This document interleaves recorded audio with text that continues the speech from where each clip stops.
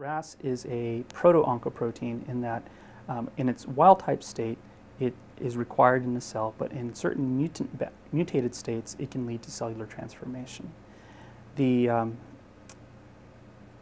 the mutation of RAS is a very common genetic marker in cancers. On average, 30% of all um, cancers have RAS mutations, and in certain cancers, the incidence of mutation are actually much higher.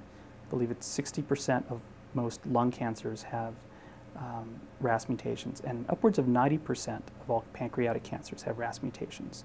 And these mutations um, do lead to cellular transformation, and often in conjunction with other uh, factors that stimulate the, the, the malignancy.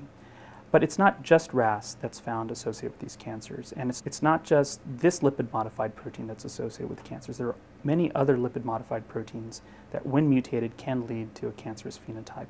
And they include things like um, RAS related molecules like Rho.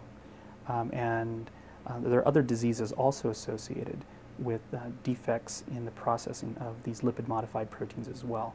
So, this class of lipid modified proteins that I've been working on this many years truly represent new molecular targets that one can uh, try to interfere with when trying to develop new strategies to um, inhibit disease and to treat disease.